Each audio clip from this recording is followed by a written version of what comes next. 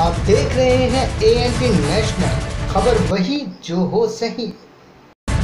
नमस्कार दोस्तों, मैं हूँ अनुराग और आप देख रहे हैं ए नेशनल हांसी के पुलिस जिला बनने पर आज सिटी थाना में पहली बार शहीदी दिवस के उपलक्ष्य में रक्तदान शिविर का आयोजन किया गया।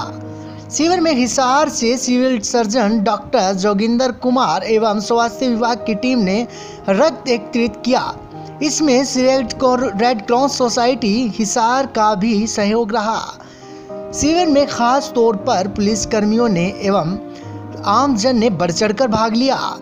पुलिस अधीक्षक हांसी प्रतीक्षा गोदारा के निर्देशानुसार पुलिस शहीदी दिवस पर incharge C C T N S Hansi ASI Jagmohan के नेतृत्व में रक्तदान शिविर का आयोजित किया गया।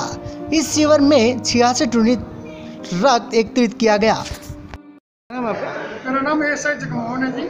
जी जगमोहन जी मतलब कितने लोगों ने अभी तक ब्लड डोनेट किया और अभी तक कितने लोग आएँगे हमने साठ का टारगेट रखा था लगभग पचास हमारे रक्तदाता कर चुके हैं। जी।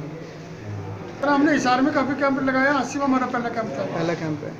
डिस्ट्रिक्ट जिला तो लोगों का कैसा रुझान देख रहे हैं? सर लोगों का भारी रुझान है जनसैलाब बढ़ा हुआ है हमें भी इतना अच्छा लगा कि हमारे कम पड़ रहे हैं पे।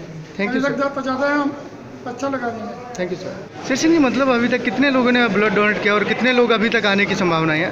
सर जी हमने 60 यूनिट का टारगेट रखा था। लगभग 50 लोग डोनेट कर चुके और लोगों का उत्साह देखते हुए ये सैकड़ा का पार कर जाएगा। सैकड़ा पार कर जाएगा। हाँ जी। तो कितने बजे से कितने बजे का टाइम सर ये सुबह साढ़े नौ बजे शुरू हुआ था और जब तक लोग आएँगे चलता रहेगा। थैंक यू सर आप देख रहे हैं ए एन टी नेशनल खबर वही जो हो सही।